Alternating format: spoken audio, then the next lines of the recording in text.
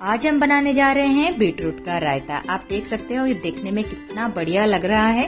Beetroot या चुकंदर बहुत ही हेल्दी है। इसके हेल्थ बेनिफिट के बारे में सबको ही पता है, पर बहुत से लोगों को इसका जो स्वाद है, वो पसंद नहीं आता। इस तरह से एक बार इसका रायता आप ज़रूर बनाएँ, ये आपको बहुत टेस्टी भी लगेगा। तो पूरे वीडियो को ज़रूर देखें। तो चलिए शुरू करते हैं बीटरूट रायता बनाना। मैंने यहाँ पे लिया है 200 ग्राम बीटरूट या चुकंदर। इसे अच्छी तरह से धो के साफ़ कर लें, फिर कुछ इस तरह से इसे काटें और इसका छिलका निकाल दें।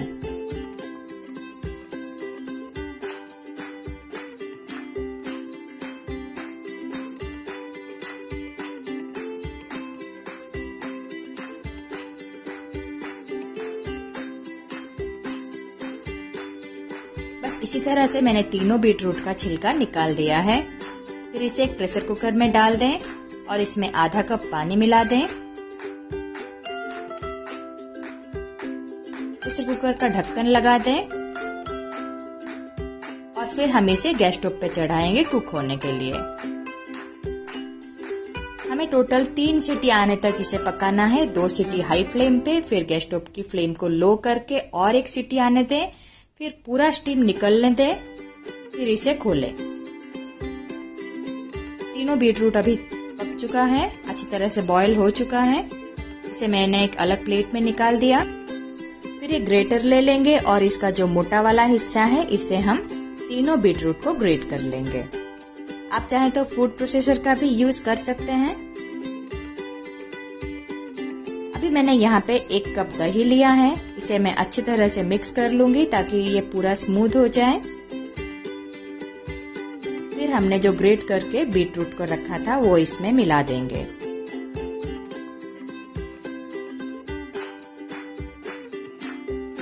अच्छी तरह से मिक्स कर लेंगे और इसे हम अलग रख लेंगे। फिर हम तड़के की तैयारी कर लेते हैं। इसके लिए एक फ्राइंग पैन को गरम करें और इसमें एक चम्मच तेल डाल दें। तेल जब अच्छी तरह से गरम हो जाए, फिर इसमें हम आधा चम्मच राई डालेंगे।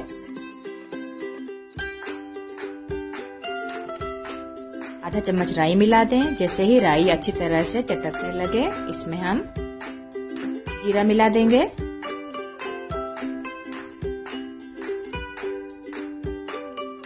फिर इसमें चुटकी भर हींग मिला दें। अभी हमें इसमें डालना है बारीक कटे हुए अदरक, हरी मिर्च और कड़ी पत्ता। थोड़ा सा भून लें, जैसे ही तड़के का खुशबू आने लगे, गैस स्टोव को बंद कर लें। गैस स्टोव बंद करने के बाद हम तड़के को नीचे उतार लेंगे और रायते में इसे मिक्स करेंगे। बस थोड़ा सा बच बचा के रख लें, इसे हम बाद में यूज़ करेंगे।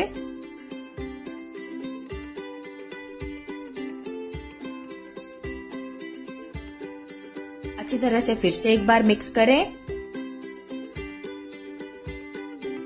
फिर इसमें मिलाएँगे स्वाद के अनुसार चाट मसाला। चाट चाट मसाला मिलाने से ये बहुत ही चटपटा बनेगा। और फिर नमक मिला देंगे स्वाद के अनुसार। पर ध्यान रखें कि इसे परोसने से पहले ही इसमें हम नमक डालेंगे। अच्छी तरह से मिक्स कर लें। हमारा रायता बनके तैयार है। इसे हम परोसने के लिए एक अलग कटोरी में निकाल देंगे। मुझे उम्मीद है कि मेरी आज की ये बनाई हुई रेसिपी आपको बहुत पसंद आई होगी। तो वीडियो के नीचे लाइक का बटन ज़रूर क्लिक करें। My cooking and more channel को सब्सक्राइब करके बेल आइकॉन पे क्लिक करके फिर ऑल पे क्लिक करें। मेरे आने वाले वीडियो के सारे नोटिफिकेशन सबसे पहले आपको मिलेंगे। हमने जो थोड़ा सा तड़का बचा के रखा था, वो अभी सजाने के लिए रायते के ऊपर डाल देंगे। बस हमारा सेहत से भरा हुआ और स्वादिष्ट बीटरूट का रायता बनके तैयार है। आप इस रेसिपी को अपने घर पर ज़रूर ट्राई करें।